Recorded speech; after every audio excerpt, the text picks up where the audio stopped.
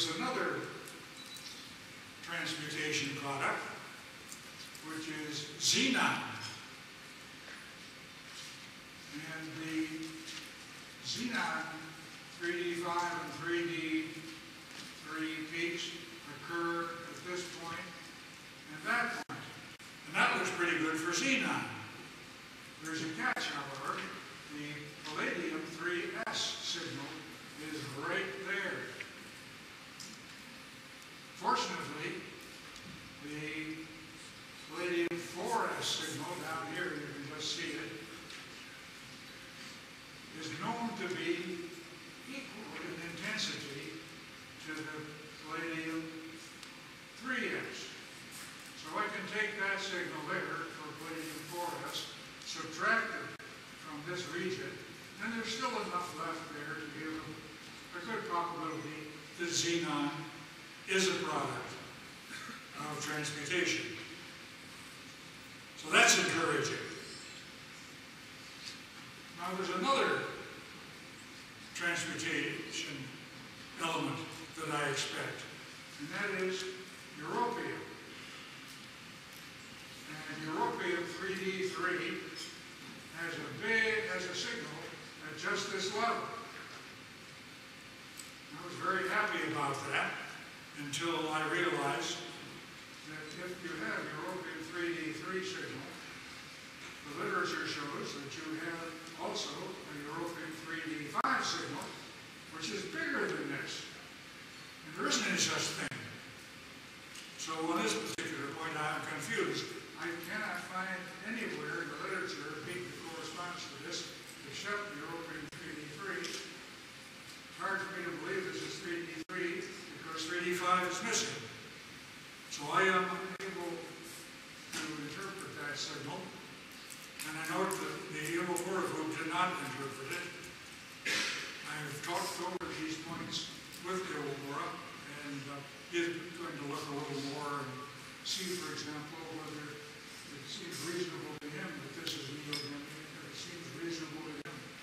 SV9 and uh, that is,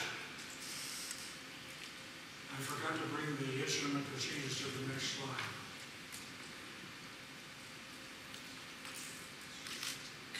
Now here's some more data from the same people at the same conference, This is very interesting to me. Here is uh, transmutation of area to samarium, 138 barium. Here's a 138 barium peak in the uh, original material. And here's a 150 samarium peak and the transmutation. So very clear. Transmutation 138 barium to 150 samarium. And polyneutron theory uh, agrees with that. So I'm comfortable with that. They also did an experiment where they got some specially uh, isotopically purified barium. We got barium 137. And here's the before the test uh, concentration. You can see there's a little bit of barium 138 still in there, but it's practically all barium 137. When this undergoes the uh, transmutation, we get this spectrum over here. And you can see perhaps that uh, you see this big peak here at uh, 149. I, the outline isn't very good, but that's where it is. And that, at last, we have a detector for neutral particles that emanate from operating reactors. Uh, the surface are protected against charged particles, they get stopped in a short range. And uh, then you run out of them. You look deeper in, all you see is the neutral particles. And uh, as Ed Stone said, you know, this, this, when you can measure particles in a chip like that, it gives you a new window of looking at the rate at which the reaction is going on. You want to study how does a reaction get affected by varying various parameters. a lot easier to count the neutrals that come out than it is to do calorimetry.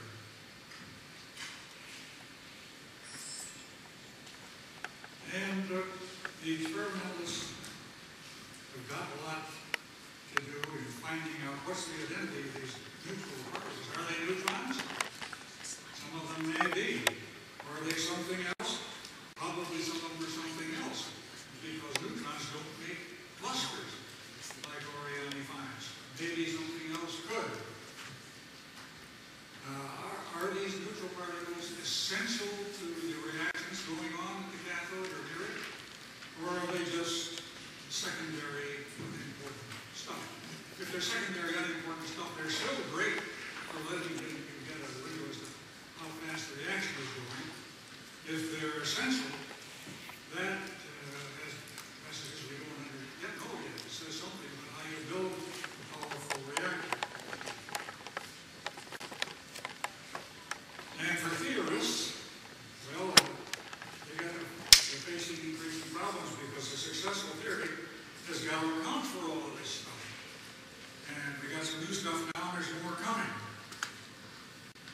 So, speaking for myself now, Oriani's paper reports real significant achievements toward a fuller understanding of LENR.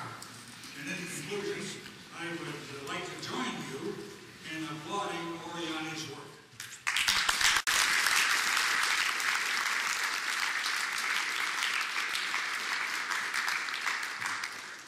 Question?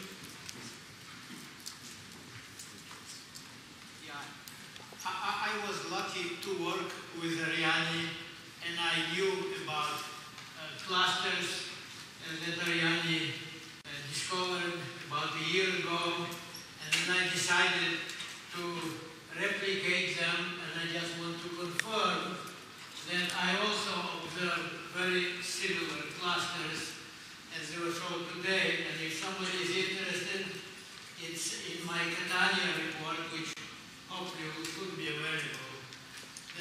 That's the one thing. And the other one I forgot what I was going to say, so I just Thank you. Hi, John. I was wondering if you or Richard were ever able to tie in uh, the evidence that we found there was thorium on the O-rings um, to the kind of theory. Please tell me again, I didn't get it. Were you a- ever able to explain why we found thorium on the O-rings? Were you ever able to come up with a theory for why that was present? How did Oriani get the,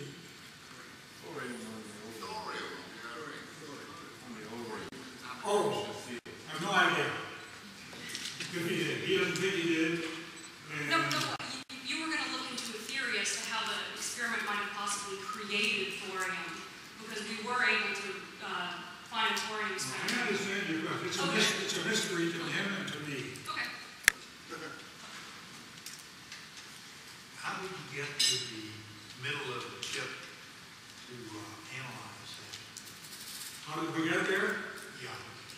Uh, by deep etching, if you keep the chip, and the, the etchant is essentially concentrated lye.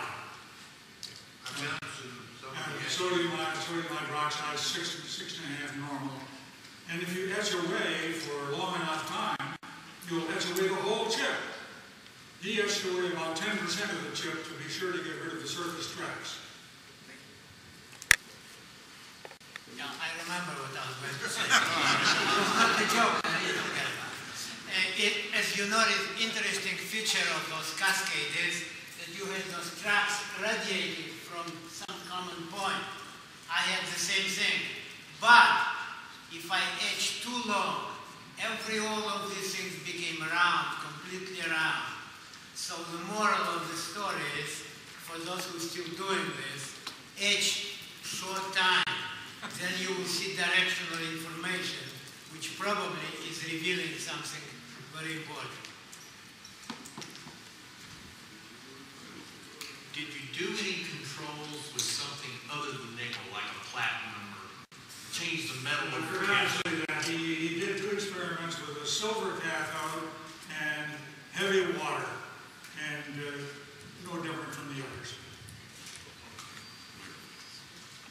thing that's always fascinated me about these results is the is the clusters. And some of the clusters look like something has exploded just above the surface of the electrode. Now, I'm not familiar with the interpretation of tracks from these results, but to me it just looks like something slightly above the electrode ha- has exploded in, in, in four pi geometry and in- intercepted it at the surface. Do you have any conjectures as to, well, first of all, do you agree if, if you would interpret the clusters in that way? And if so, uh, do you have any explanation for that?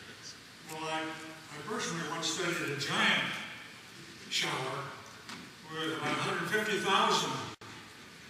members, uh, which Oriani re- recorded 30,000 on the chip. And from those 30,000, you could deduce from the orientations where the explosion was. And it was the order of a centimeter uh, away, uh, away from the chip. And yes, I, I had an explanation for that, but this is a talk about experimental stuff and Oriani's work. You were partners on that one, so I'll save that for private discussion. There, there is a theory of it, not public. When you, when you actually use a microphone.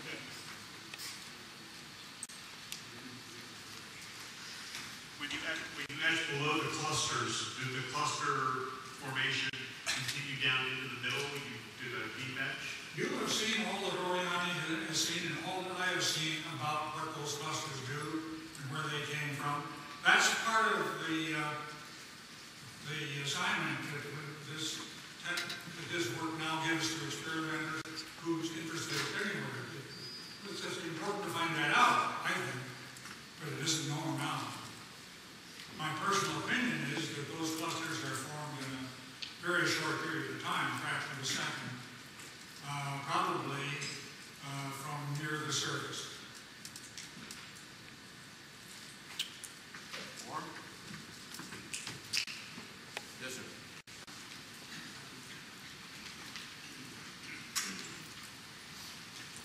Um, My question is, have you um, measured also heat excess in your setup? Because it is uh, uh, very important if you want to say something about the reaction mechanism. If you measure without heat excess, which is correlated to alpha heat, heat, heat excess. No, is the answer to that question. Never measured that. Yeah, because uh, if you want to look for energetically charged particles, uh, such helium-4 particles, uh, we need, they are correlated with this heat excess, uh, which is uh, named uh, Fleischmann constant.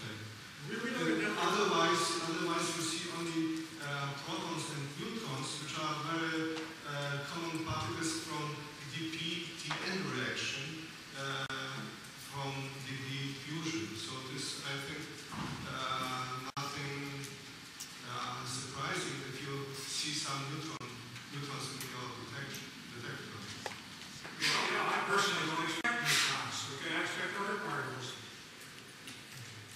Uh, the point is, Uh, normally you have Oriani, Oriani finds experiments that compel us, compel us to think that there are neutral, neu- neutral particles involved. Uh, Normally, if you look for the PTN reaction, the branch ratio between both reactions should be equal to 1. So in normal case, usual case, if you have no heat excess measurement, you should expect protons and neutrons at the same scale. So this is uh, something we can measure even at uh, uh, very usual uh, conditions, I think. Uh, we can discuss later. I will answer you later. John, have you ever thought of the possibility that these neutral particles might be polyneutron?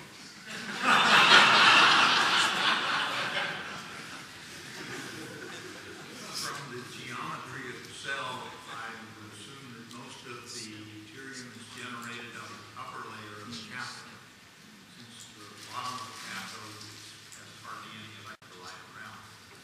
The bottom is perfectly dry, and the top has the mylar on it, but the tracks are indistinguishable. You cannot tell from looking at the top or the bottom which it was.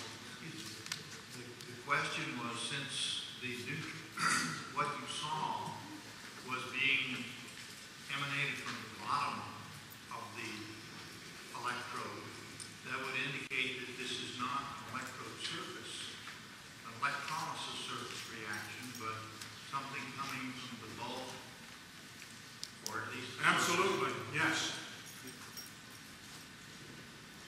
The, the neutral particle had- could have come from the electrolysis, but the track came from a reaction in the bulk of the chip.